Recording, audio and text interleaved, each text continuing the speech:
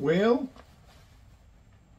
quitting RVing is definitely harder than starting RVing Most definitely. by a lot.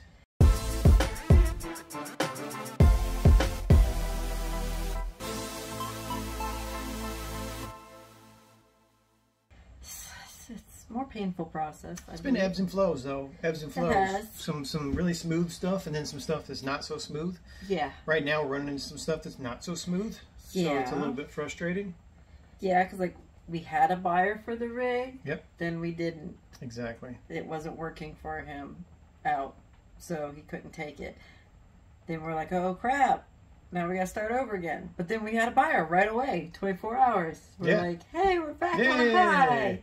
But now that's having problems. Yeah, and the- here's the issue with that. The issue is they got approved for the financing, Yeah. but their bank won't accept uh, third-party application, which basically means their bank buys the RV from Our our, bank. bank. and then the title goes to their bank. They have trust They have, issues. they have trust issues. They have a policy. They don't do that. Most banks do it yes, because it's a normal practice. happens all the time.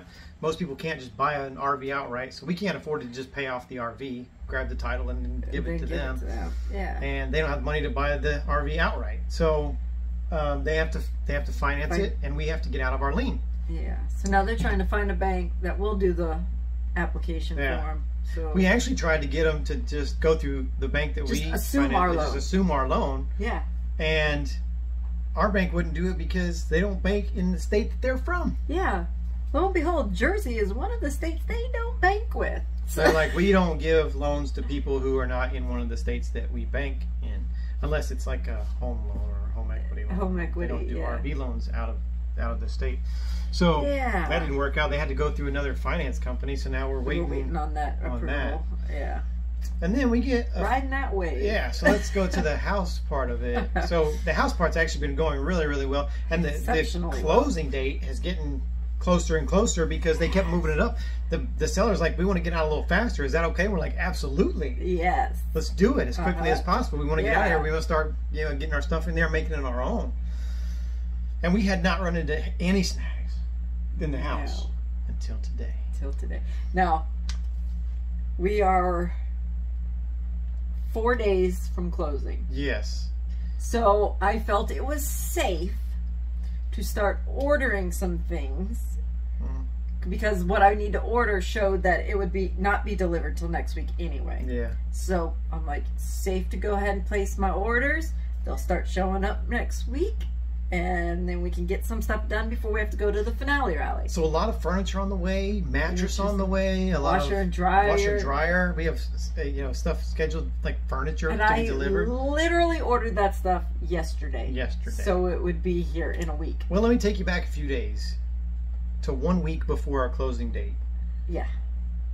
Mortgage company comes through, everything's good, they're ready to close. Rates locked in. We're good to go. Everything's good. All the inspections, the termite inspection, the inspection, the appraisal, everything's good. Everything's done. yeah. And then after that is sent to us, our realtor goes, "Okay, what are you guys doing for the septic inspection?" And I'm like, uh, "When we sold our house, it was on us. It was on the seller." Seller. To do Which the- traditionally it is on the seller. And But apparently not with this. apparently, it was written in our contract that the buyer was responsible for the For the septic inspection. inspection. And I was like, "Well, if we had had this information weeks ago, that'd have been great." Yeah, I did not pay attention to it. So So, yeah. Be- and so I was like, "This is the first we're hearing of this." And so our realtor was like, "Oh, we She's should like- we should have brought this up to you." She's like, we usually have a talk with the se- with our our buyers. You know, did we not talk with you? And we're No. like, no. So this is the first we're hearing it. We're a week Yeah. from closing, and she's like, "We feel bad. We feel like we dropped the ball. We didn't tell you guys about it, and so we're going to go ahead and take care We'll of the. pay for the We'll pay for inspection. the inspection of the septic." So we're like, "Cool. It's the house is only three years old. So we're like, oh, crisis averted. it's good." Well, Yeah. she said we'll have the report back this week because we they called us on a Monday, and I'm like, and I'm like, well, yeah, the whole work week. It'll Yeah. definitely get done. We're good. We'll be good to go. Yeah. She called us today, which is a Wednesday, before we close on Monday, Yeah. and she says, "Septic inspection failed." Yeah. There's an issue with the septic. Mm.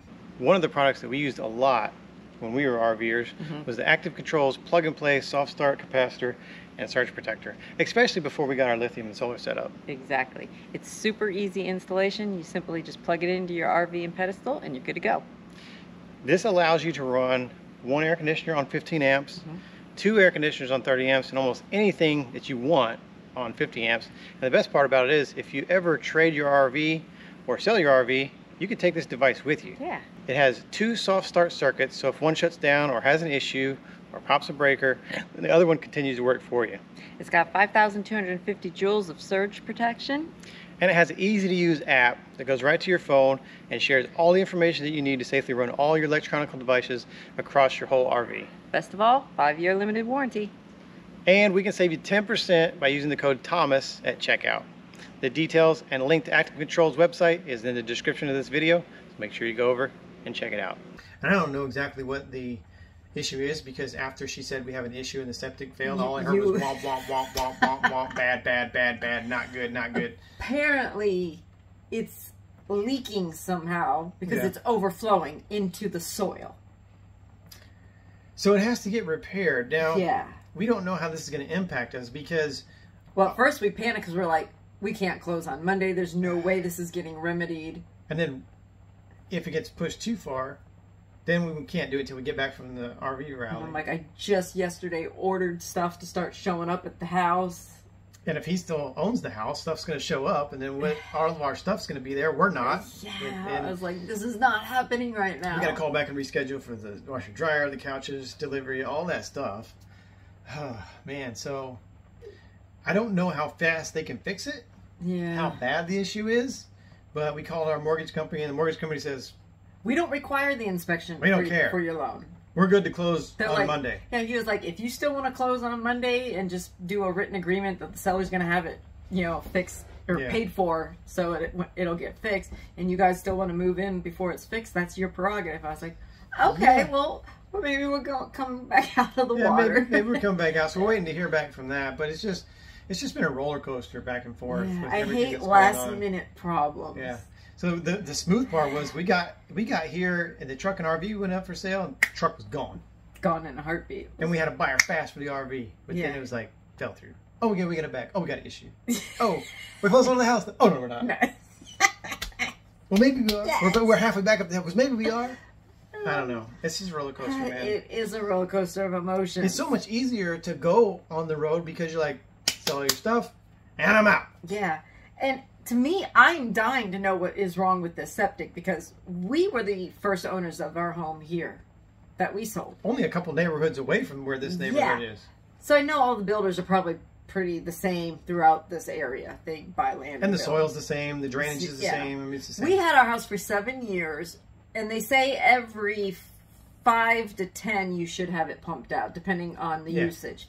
So it was required that we did it, and we did have it pumped out, even though they said it was great, looked good, but just go ahead and do it since it's at that seven year mark. You're gonna need it anyway soon. So I don't know what these people have been doing. They've been throwing like rolls of paper towels down the shitter or something. I don't Three know. years and it's overflowing. So was it either too small of a septic? Kids. kids. But he said his wife's been in Florida for a year. true. So I don't know. I don't know. But I'm dying to see the final report. Or else this dude's laying down some law. Stop. serious. Stop. Call Guinness. no. Uh. Stop. Or it has a crack in it somewhere. Yeah. And that's why. That can happen. I mean, the earth can shift. It can, but those things are Yeah. supposed to be pretty durable. I don't know. Yeah. I don't know anything about I'm curious. Yeah. But But anyway, we just thought we would share our Yeah. roller coaster of emotion that it's we been a long on. day. But we'll keep you updated and informed on everything that's going on. And it, it, it frustrated me even more. I mean, I love our agent. She's great. But I'm like, man. but but still. If she would have mentioned this sooner, yeah, we would have been taken care. We- if we knew it was our responsibility. and, and they had the talk that they thought they had with us the first week, because Yeah. apparently it was supposed to be during the first week. And we would have been on it, and that would have been done, caught sooner, and already fixed. Already fixed. So I hate that it got down to five days before closing, and it's, oh, we haven't done this yet. And it That's turns out frustrating. that that's And the it's a- only issue that we've had the entire time. Yeah. Like, And it Lord happens at the 13th hour. yeah. So it's a bummer. It's just, yeah. But, I mean, I'm okay moving in, as long as it's getting fixed. Yeah, and I just don't know if we do. As long as in- we're allowed to move in. Yeah, I don't know how long Like, it takes can we move in and still use the plumbing? Yeah, because you, you might be without plumbing for a week or two. So I don't know how I don't know how works. I don't know anything about septic tanks. I don't know. Yeah. I might be getting a camp toilet. Well, at this rate, we'll I still want to live in my house. I know, but at this rate, we'll we'll, we'll still have the RV because that won't be worked out yet. So we Yeah. might still be have a house over there and living over here. Just go, we can go to the bathroom. Lord help me. Oh, God. It's just. we have to laugh. Russ will cry. That's right. But it's all gonna work out. I mean, yeah, it is. It's just the time frame now shifts, and I don't like that. Yeah. I, I liked that we were. It's been moved up twice, and I've loved it. I'm like, Yeah. hey, all right, we're getting in sooner. And they're like, hey, can we bump it up again? Absolutely, let's bump it up again. I'm ready. Hmm. and then Tank. pump the brakes. So we just came on here to let you know that if you are going to be coming off the road, get ready, buckle up, Buttercup, because the ride is a little bumpy. it's a little jolting, Yeah. To say the least. We'll keep you updated along the way. Uh, we got a bunch of exciting stuff coming up. We're going to be moving into the house. We're going to be moving out of the RV. We're going to watch our RV roll off for the very last time. yeah, A bunch of cool and exciting stuff coming up for us. Uh, Mhm. we're very excited to be back here with the grandbaby and, the, and our daughter and spend some time with them. So we'll keep you updated. We'll let you know how it goes, whether we're up here or down here. Oh my God. And hey, stick around for just a few seconds. We're going to honor a fallen hero. If you want to get involved with helping us help veterans, everything you need to know is right down in the description. We appreciate you watching. We'll see you next time. Bye. Bye.